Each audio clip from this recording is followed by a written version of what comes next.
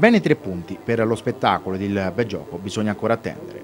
Un Frosinone non trascendentale si impone comunque meritatamente per 1-0 sul Barletta grazie alla rete del giovane Altobelli. Almatusa contava vincere e i canarini ci sono riusciti. Nella formazione iniziale Stellone presenta la novità russo in difesa, il centrocampo a tre con Altobelli, Soddimo e Frara, in avanti Aurelio, Paganini e Ciofani.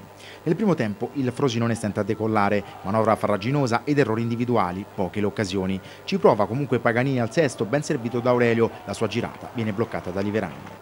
La risposta del Barletta è in un tiro dalla distanza di Cascione che si perde sul fondo. Al quindicesimo Aurelio lavora un buon pallone sull'out di destro e serve Frara. Il tiro del capitano finisce alto.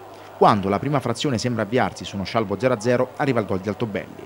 È il 43esimo. Aurelio dalla destra serve il centrocampista canarino, bravo a beffare Liverani con un tocco sotto. È l'1-0 con il quale si chiude il primo tempo. Nella ripresa Stellone sposta Frara al centro e Soddimo sulla sinistra con Paganini tra le linee. I canarini crescono. Al quinto minuto lo stesso Paganini mette brividi alla retroguardia pugliese che si rifugia in angolo. Sugli sviluppi del corner è ancora Paganini ad impattare di testa con la palla che va di poco fuori. Al decimo Frabotta lancia Ciofani che prova a sorprendere Liverani con un pallonetto, ma la sfera, anche in questo caso, finisce fuori. È sicuramente un altro Frosinone. Qualche istante dopo, infatti, Soddimo libera con un colpo di tacco Paganini, il suo sinistro esce di un soffio. I giallazzurri vogliono chiudere la gara. Al ventisettesimo ancora Paganini semina il panico in area e serve Frara. Il tiro del capitano si stampa questa volta contro il palo.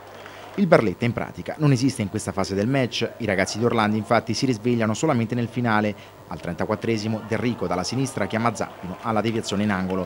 A due minuti dallo scadere il numero uno giallo-azzurro salva letteralmente il risultato con una paratona su un tiro scagliato da Ilario. È l'ultima emozione del match, dopo 5 minuti l'arbitro infatti decreta la fine, il Frosinone prende tre punti, la migliore medicina per dimenticare il capo di Catanzaro e per preparare la trasferta di Nocera.